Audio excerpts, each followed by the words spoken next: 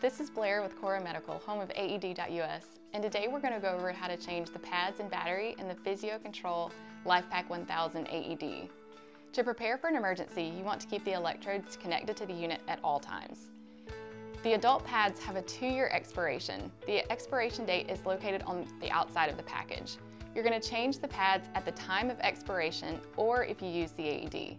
To install or replace the pads, you remove the older pads by pulling on the cable connector. And you take the new pads and you plug them in like so. The battery has a five-year warranty. The expiration date and the install by date are both listed on the outside of the battery. To install or replace the battery, you remove the old battery, turn the unit on its side, and then you lift the latch, release it, and the battery slides out. Then you take your new battery and you push that in until you hear it click. Once you change the pads and batteries, verify the ready indicator says okay, and the AED is rescue ready.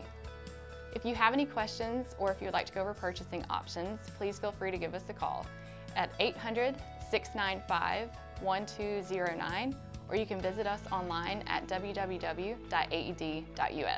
Thanks for watching.